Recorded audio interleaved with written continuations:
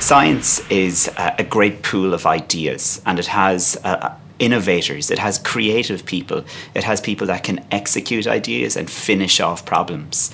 So I think by funding science and by uh, encouraging scientists to do their work, we can uh, have potential for growth, growth uh, in jobs, growth economically, and growth societally, in a societal sense.